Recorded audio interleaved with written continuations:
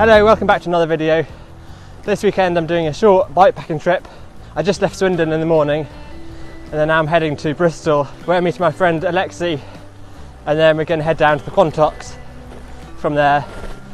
Uh, yeah, and just bivvy on the hills there somewhere. Yeah, just trying to fit in as many trips before the weather gets too cold for bivvying. Luckily it does look quite nice weather though, so hopefully it shouldn't be too cold at night. I've only got my summer sleeping bag, so so I think it will be a little bit chilly. But yeah, fingers crossed. This is actually the first time I'm going on my road bike with bikepacking bags for quite a while. I don't think I've really done any this year. I think I've only ever taken my gravel or mountain bike this year with bikepacking bags, so yeah, it's quite nice to be on the road bike again. Definitely feels a lot faster. And yeah, trying out a new Apidura saddle bag which so far seems to be working quite well. Really happy with it.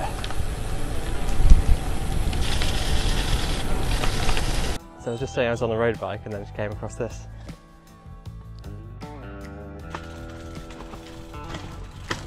Luckily there's a little path to go through the ford.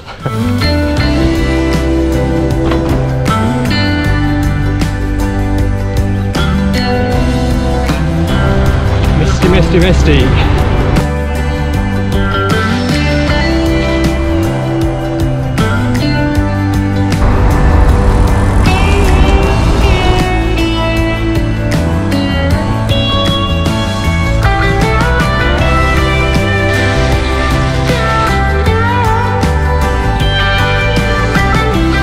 as you can probably tell with all the graffiti and the busy roads just arriving into Bristol now uh, I've got a couple of hours before I meet Alexi.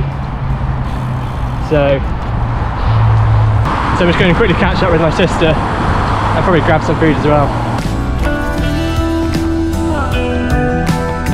After a quick stop in Bristol I met up with Alexi and headed out over the Mendips and down the iconic Cheddar Gorge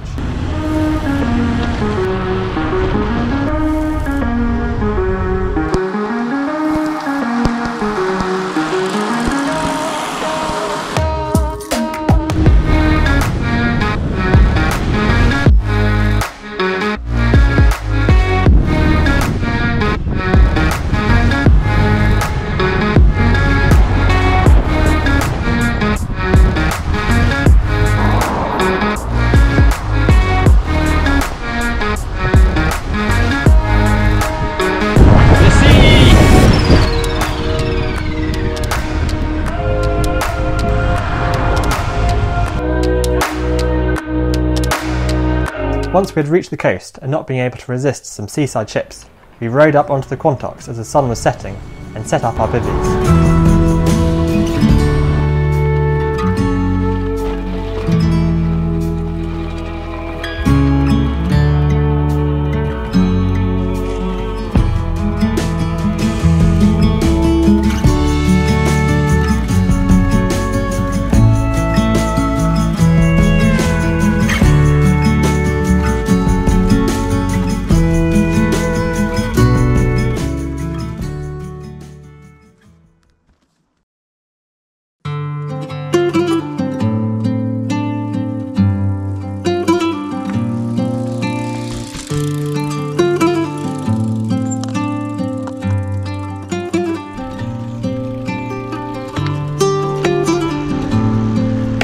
After a surprisingly warm night for October, we began riding across Somerset in the early morning dusk.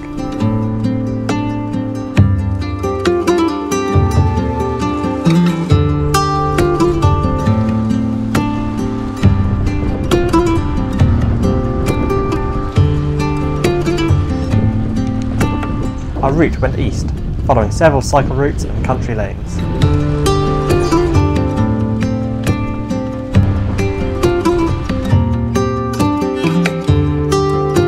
Before our route divided in Bath, there was one last excitement of the weekend adventure, riding through the Two Tunnels cycleway. One of the tunnels is 1.6 kilometres long, which is the UK's longest tunnel you can cycle through.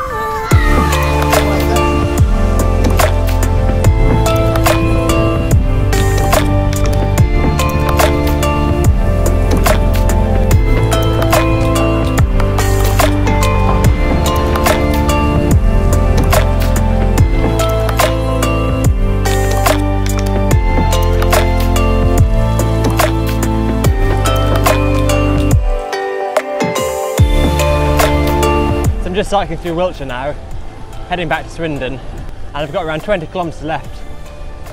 Um, I just sort of a bit of an extra loop to make it up to 200 kilometres today. So yeah, my legs are feeling a little bit now, but it's such a lovely day, so sunny.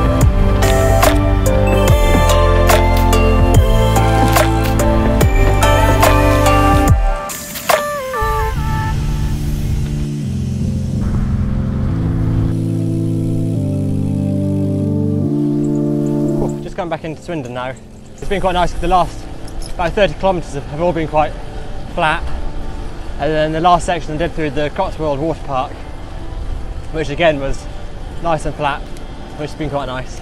It's nice to get in these short weekend adventures whilst it's still vaguely light in the evenings. And yeah, we're really lucky with the weather, especially during the night. It barely got down to like 13 degrees. Yeah, thanks for watching. Hope you enjoyed this little weekend adventure.